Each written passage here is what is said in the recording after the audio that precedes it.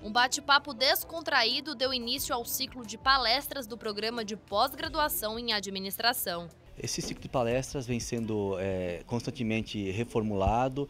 É, a gente agora trouxe professores é, de Glasgow, é, da França. É, a final do mês vai ter também um curso de SFANCS, é, de SPSS.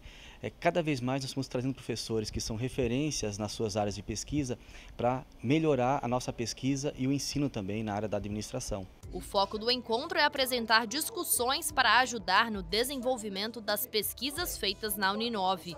O primeiro convidado trouxe ainda um ponto de vista novo por aqui. O conhecimento aberto, para mim, é a energia do século XXI. Esta aprendizagem por descoberta, este co-learning por parceria com os alunos é fundamental. Falando em aprendizado, mesmo para quem já está há 36 anos na área da educação, a palestra é uma chance de se aprimorar ainda mais. Evidentemente, com o maior prazer que eu estou aqui ouvindo o professor Mutinho.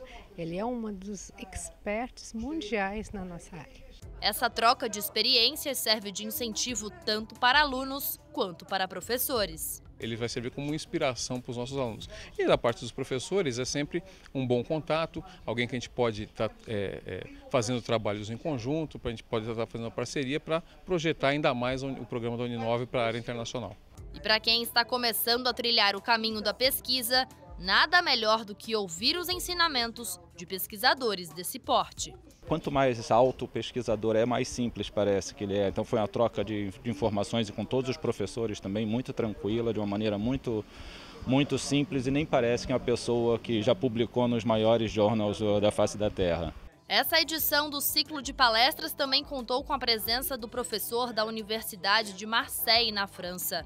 Luc Conian, que também é docente convidado da Uninove, apresentou uma novidade que deve aumentar a eficiência das publicações científicas. Esse software ele vai ser incluso tanto no browser para navegar na web como no tratamento de TXT Word e na hora de escrever artigos ele vai automatizar todo o processo de formatação da bibliografia, mas também o processo de coleta da bibliografia.